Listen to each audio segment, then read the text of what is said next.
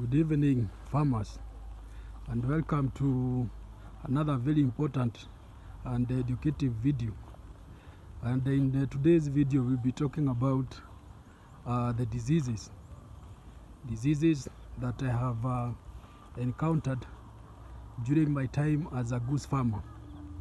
And uh, this lesson is uh, very important to all the potential farmers. And therefore, if you are not one of our subscribers, please uh, subscribe. And for those uh, who have been uh, following us, thank you for the positive feedback. We'll keep updating you when uh, something new comes up. So, one of uh, the main uh, challenges for any new farmer, irrespective of the livestock that you are dealing with, the diseases and the parasites, because these have the ability to decimate the size of your flock and also uh, to make sure that they are not reproducing. And therefore we must be on the lookout for the diseases. And uh, before we get into the various diseases uh, that I have observed let's first of all look at uh, how do you know whether your uh, geese is uh, sick? And uh, here there are telltale signs. They are very common signs the first one is uh, when you look at uh, your geese and you find that uh, he or she is not uh, active yeah, he is not uh, feeding he is not interested with food he is not even taking water and that is a sure sign that uh, something is wrong with that geese. The other thing that you're supposed to be on the lookout is when you see that uh, your goose is uh, limping. Yeah, she is uh, limping or he is limping during uh, uh, when uh, there is some kind of a movement.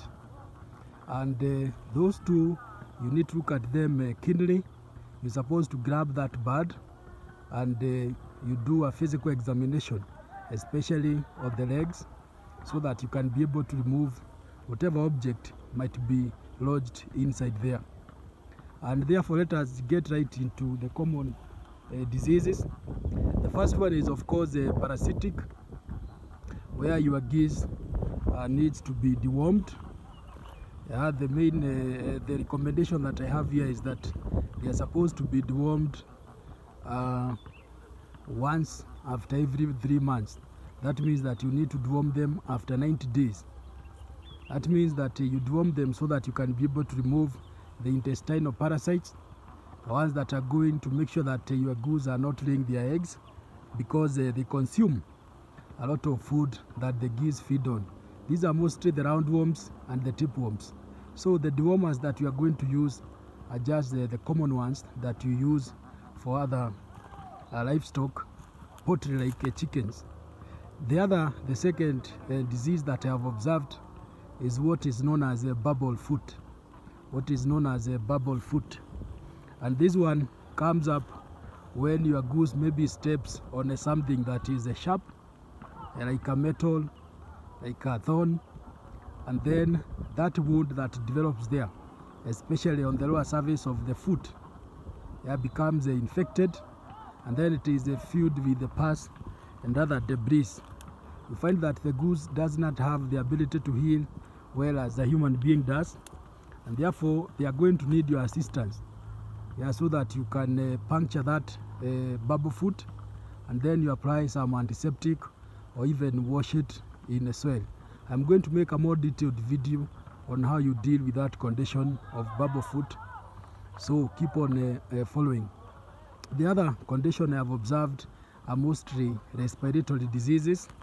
These are something to do with the difficulties in uh, breathing. And this one I have found that uh, they are easily treated with the, the locally available antibiotic, just like uh, the ones you use for your chicken. So how do you diagnose these diseases? You look at the way that the goose is uh, breathing, uh, breathing very fast, uh, shallowly, it can even open the mouth and you see that it doesn't have the appetite for food. That way you are able to conclude that uh, something is wrong with the lungs of that bird. And uh, what you do is that you just grab your antibiotic, mostly put it in water, then you can give him.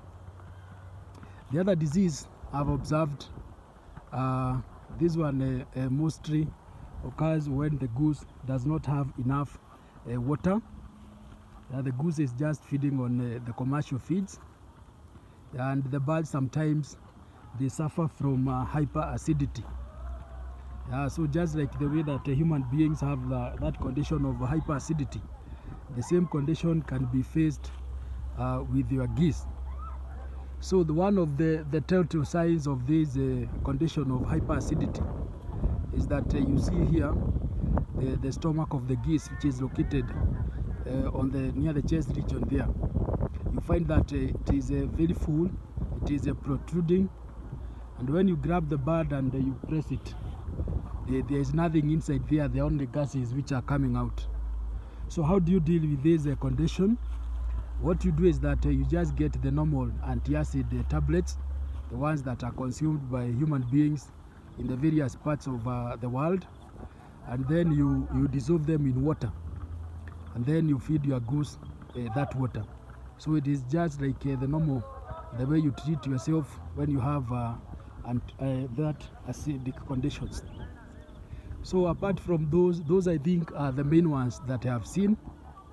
Others are diseases which are viral. Yeah, and remember that the main problem when you are dealing with geese is that uh, they don't show the signs immediately. So they already they show the signs when the diseases have uh, progressed, and mostly you find that uh, your birds are dying yeah, one by one. There's nothing you can do about that unless you identify the source of the disease.